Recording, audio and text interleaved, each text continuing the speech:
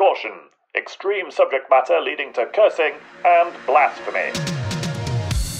So, if you've been following my YouTube channel for a little while, you'll know that most of my content is long COVID related. And one of the most important things in long COVID is pacing and keeping your heart rate down and keeping down the level of sympathetic nervous system activation. So, pretty much the last thing you should ever do would be to come to what is probably the most demanding, challenging, terrifying, notorious racetrack in the whole world and take round an antiquated stainless steel contraption.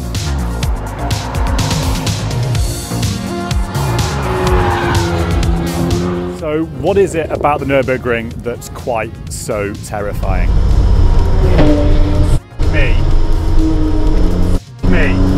Well, the answer is it's about five times longer than an ordinary racetrack. It's 21 kilometres long. It's got 130 corners, which are between them either blind or off camber, and there's surface changes and there's no runoff, which basically means if you get it wrong, you're in the barrier. It's in fact so terrifying that it was named the Green Hell by Jackie Stewart, the Formula One driver, and that was shortly before it got dropped from the Formula One calendar in the mid 70s for simply being too dangerous. And believe it or not, Jenson Button, the Formula One driver, said the one thing that he'd never do would be a tourist fahrten day at the Nürburgring. Tourist fahrten is basically anybody can turn up here and go round. And he said it's simply too terrifying. And this was from somebody who's won, you know, world titles in Formula One. One of the other incredibly gnarly things about the ring is the traffic. Fucking hell, mate because literally anybody can go out there at the same time. So you're out there with superbikes and GT spec race cars and local heroes. Where they all come from? I thought coming at the end of the day it would be quiet. And they're coming past you uh, incredible speeds, and you've got to be looking in your mirrors as much as you're looking forwards. However, one of the advantages is that I'm going to be going so slowly relative to them that I'm going to be losing time by pulling over to let them pass. Christ, on a bike! Rather than getting stuck behind slow coaches because I'm going to be the slow coach. So, what am I concerned about whilst taking a DeLorean round here? Uh, the answer is quite a lot. Firstly, the brakes um, and stability under braking uh, is not its forte. Also, brake power, and then also just boiling the brakes. I'm pretty worried that I'm going to get a spongy pedal after about four corners, and I'm going to be a world, a world of pain for the rest of the lap. Uh, what else am I concerned about? Body control. The DeLorean's handling at the time was deemed to be a little bit wayward at high speeds, and its on the limit behaviour was unpredictable. Oh shit, me! It's now obviously 41 years old. That was what people were saying 41 years ago. And my car has now had 41 years to fall apart, and it's been put back together by me. The other thing that I'm particularly worried about is reliability. Uh, when I hit the carousel, is the car even going to stay in one piece? Oh. So a couple of things to say for those expecting to see an eight minute bridge to gantry lap. Um, first of all, this is a tourist fahrten session, so there is no lap timing allowed.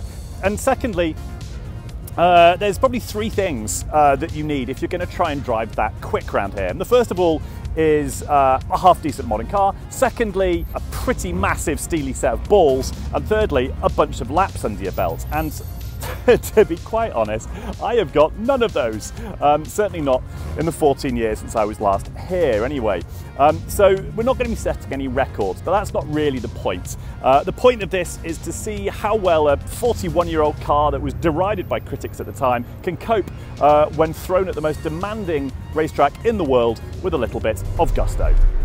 Okay, so this is the Nürburgring, and what you haven't seen is the fact that I just spent about four hours with the car misfiring horrifically and cutting out and basically having horrendous breakdowns. Um, and it, in the end, was just a loose cable onto the ignition distributor. Are we going to have a problemless something amount of time here. Let's uh, let's hope so. Helps if I can actually. It's okay. Okay, so one of the problems I'm going to have uh, as we go around is the amount of traffic. There's been a stoppage, um, and the amount of M2s, M3s, GTRs, 911 GT3s out there on the track right now, uh, out there on the road waiting to come on is gnarly. And the issue I've got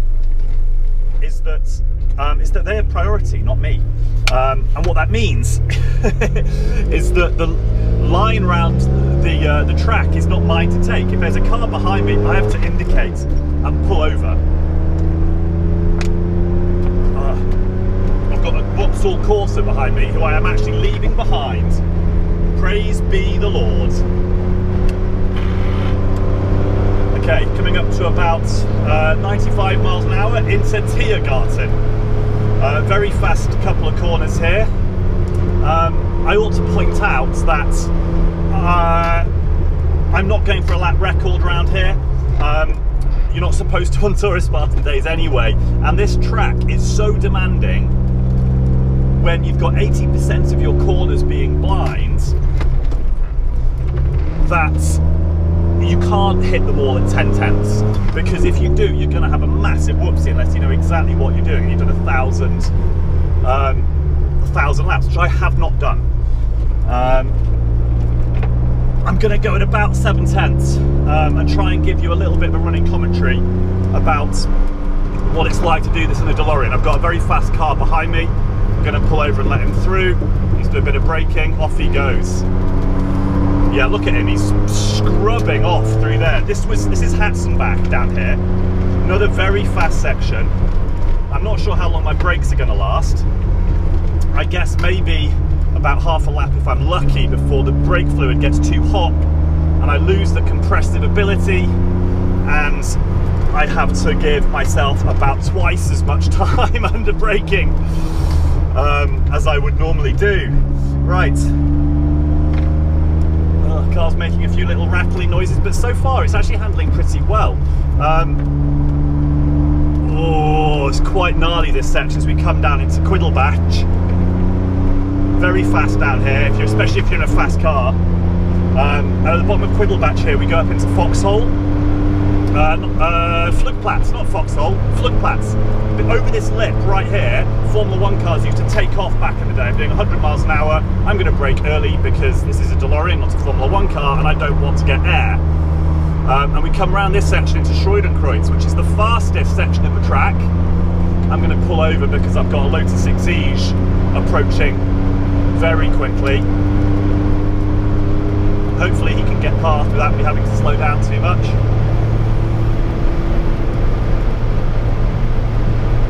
Indicating for and lifting. Oh god, it's hairy if not taking your own line around here, but Schwedenkreuz. 110 miles an hour here. Oh, and here comes the traffic now. Um, I'm going to indicate, I'm going to let them all past. I've got about a fuck ton of much quicker cars all coming through. I'm just going to not mess about. Coming to Aremberg now.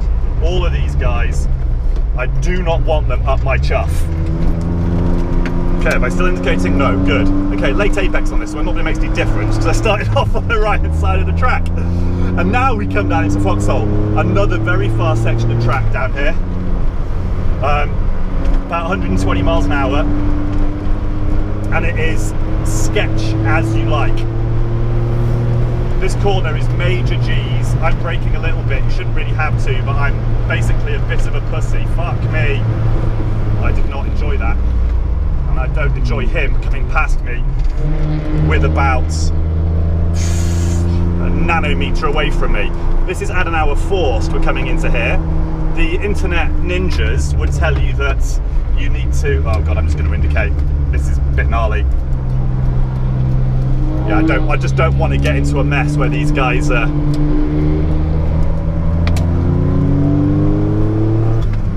sorry for going a bit quiet there. I'm just dealing with an army of angry, fast cars um, trying to overtake me. Here we go.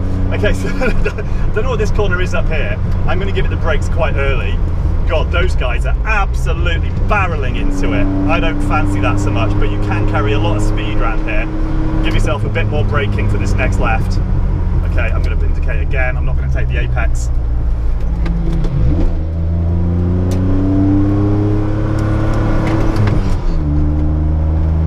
I'm spending half my time on the uh, on the mirrors here because it's a busy track. Right, late apex. All of these downhill right-handers down here. Late apex. Okay. My brakes starting to fade. Predictable.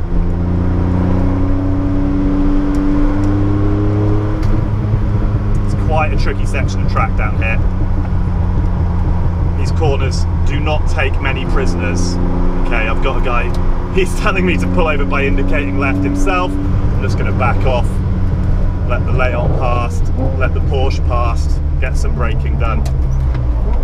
Get to second gear. There's another late apex here. That Porsche took a very nice line through. I did not. Okay, we've now got a bunch more guys who are much quicker than me. Off you go, son. Off you go. And I've got a bunch more. So we're coming out to Adenauer Bridge here. I'm just going to let all of these guys have at it.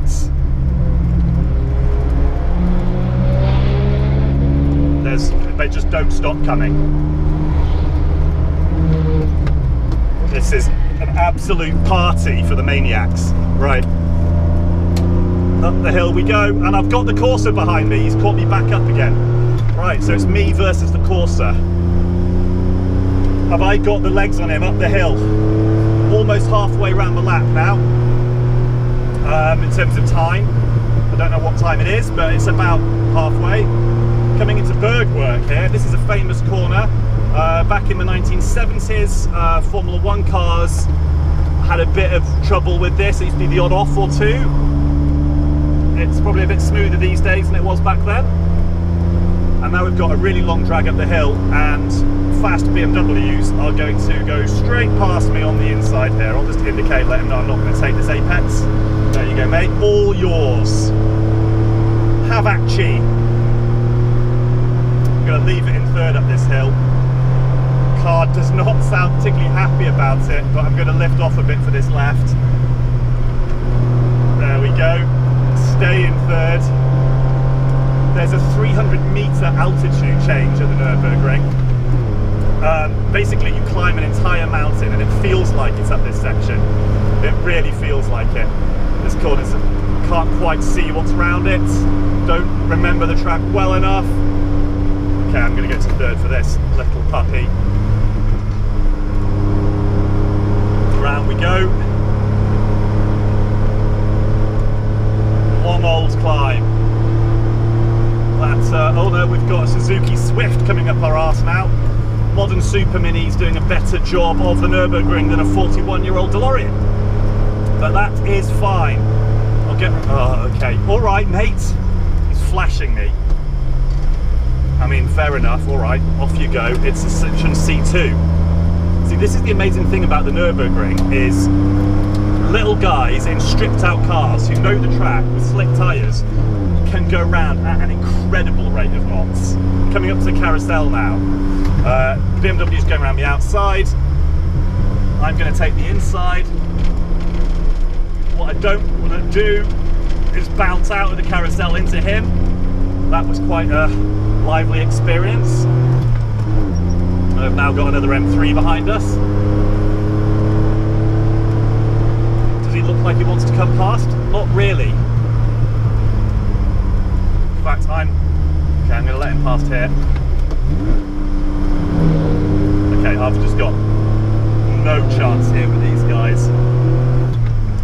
There's um, yeah, I can't. I don't have the power to get past this um, this BMW, and there's so much traffic behind me. I can't afford to pull out and try and get past him, which will take me half an hour because I'll just block off all the Razmasters. This is Hohe Acht, the highest part of the course. Still indicating right. I'll let this M3 past. Um, and now we're coming out to Wippermann, which is a series of um, corners with of increasing, increasing, decreasing radius Oh, fuck me. Sorry, excuse the language. See you later.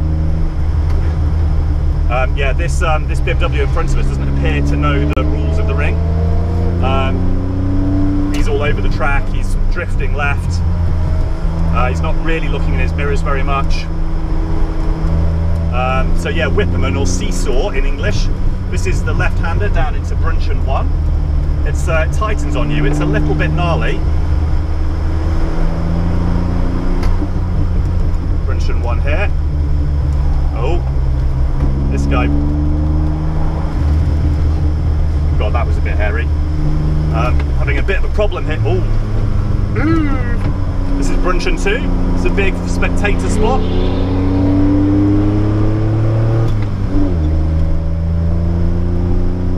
Uh, I've got that Corsa behind me again now.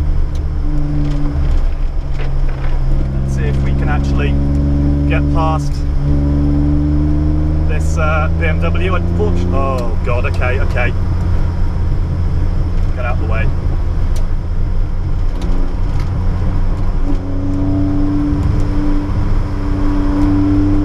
Okay, I don't have the power to do it.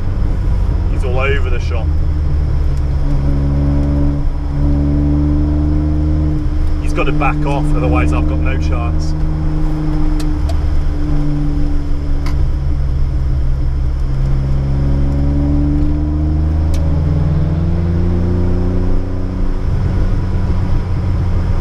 Okay, I've gone very quiet down there because I was dealing with cars in a 360 degree sphere of influence. Uh, this is, uh, we're into the Pflanzgarten section of track down here. Uh, and this is actually quite fast. I'm going to try and take him now. You're such a douchebag. Okay. There we go. Okay. I'm getting quite hot behind the wheel here. Car has actually behaved pretty well, but one thing I have noticed is that I haven't had as much power as I would have liked. This is the mini carousel to do things like overtake that guy. You want to blitz past him in a flash, but it's really difficult if he's got his foot down and he's not lifting for you. And he doesn't realise he has to lift. when he's got a 41 year old car up his ass, he does need to lift. Um, okay, we're now coming into the final section of the track now. It's a fast right-hander. As we come into the gantry, I've already got more fast guys up my chaff. I'm just going to indicate and let them pass. There he goes. And another one. And this is where we, uh, we back off and cool down. That is, this is the gantry. Um, and uh, yeah, this is where get a chance to relax a little bit. let the car cool down, let yourself cool down, and uh, consider what you've just achieved, which is a lap of the Nürburgring, and that is not to be sniffed at. So let's go through some of my concerns uh, as they were before I went out there. And let's start with the brakes. Can't really say that the brakes were an overwhelming success around the Nürburgring. On the road, they have sufficient power and you can lock up the front wheels at 40 or 50 miles an hour. Of course, there's no ABS. But on a racetrack like the Nürburgring, you need more initial bite, which they don't have, um, and you need staying power. And the brakes faded after half a lap, and four, and I did four laps around there in the end. Obviously, there's just one I showed you in the footage, um, but uh, but the brakes were basically gone from after halfway around the first lap, and then remained gone for the whole rest of the uh, for the whole rest of the day, basically. Um, one thing that I was pleasantly surprised by uh, on the brakes was actually the stability. I was expecting a lot of squirreling uh, under braking and a lot of brake steer, basically swerving around left and right, coming into corners. And surprisingly, because whilst there's cambers, you know, on the track, but they're relatively consistent across the track. It's not like a B road where you've got a crest in the middle of the road and then it falls away. That's the sort of conditions where sticking the brakes on hard will basically pull one of the wheels back more than the other and give you horrific brake steer. Surprisingly, I didn't get that round the ring, so that was one small positive. Let's talk a little bit about power. The car is might be 40 years old, but it's quick enough on the road. This is the European spec version of the engine that puts out about 160 horsepower. And as a result of that, 0 to 60 is under 8 seconds, it'll do 135 miles an hour. But compared to the other stuff that's whizzing around the ring, not that you, and I ought to just say, not that you need huge power to be quick around the ring, um, but it did struggle on the straights and it did struggle, especially going up the hill um, towards Hoher Acht. The car really, really struggled up there and it basically just topped out at about 95 miles an hour and that was its lot. I think probably better to have left it in third gear and basically just tried to rev the pants off it all the way up there, but that just felt a little bit cruel given that it's about two kilometres long. as big a problem perhaps as the power uh, was actually the length of the gearing. So again, this has got a very long box on it, designed for meeting emissions requirements in the early 80s in California. Um, and that was one thing that was really, really noticeable. I'd have liked the whole box to be, the whole final drive to be like, I don't know, 30% shorter. Now let's talk a little bit about handling. And before I went and did the lap, I talked a little bit about how contemporary road testers thought that the DeLorean didn't handle as well as its peers, like the Porsche 928 or Porsche 911 or Ferrari 308 cars that it was competing against at the time for the American market, and they felt that the DeLorean was a little bit wayward. Um, now, I ought to point out that this car has had some modifications done. So all of those mods together probably have tightened up the handling considerably, and the car is still very soft by modern sports car standards. But what I was pleasantly surprised about was just how well balanced the car was around some of those corners, even at relatively high speeds. The massive rear weight bias on the car, 68% weight over the back and only 32 over the front, didn't make the car feel quite as sketchy as I was expecting it to.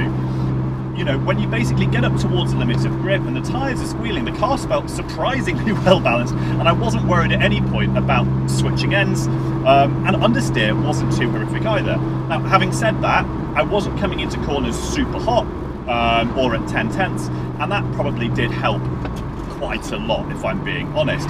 But there is actually a uh, an early road test of the car um, that was done by Car Magazine back in 1981 that talked about the handling of a DeLorean and actually the fact that it was set up to be a much more European handling car than an American handling car.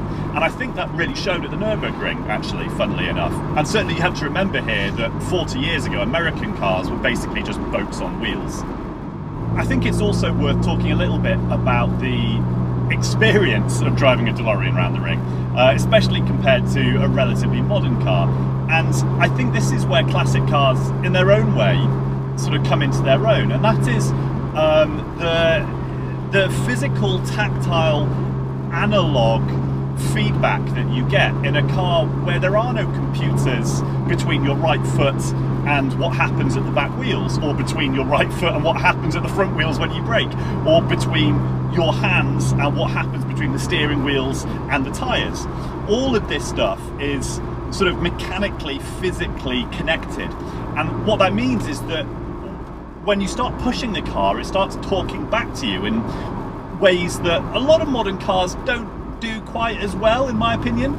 And there is something about that level of interaction that you get with a classic car that for me is why I have one, to be honest. You know, I mean, yes, it's fun razzing something new and modern and quick around a racetrack, but I don't think it gives you quite that kind of old school hero feeling inside that you get when you are manhandling as opposed to handling uh, something at high speeds or close to its limits, where it talks back to you as much as you talk to it in terms of telling it what you'd like it to do. So my concerns were that the car would soil itself quite badly in numerous figurative or literal ways when trying to attempt the most demanding racetrack in the world. I think the car has actually come out of this acquitting itself surprisingly well. Um, and I think this goes to show that if you do a few subtle, sensible modern upgrades to this 40 year old stainless steel contraption, it can still do some pretty remarkable things. So, not my usual kind of content, but I hope you appreciated the slight change in scenery and content from what I normally deliver from my office. Now, I'm off to go and do some rather regressive resting. Till next time.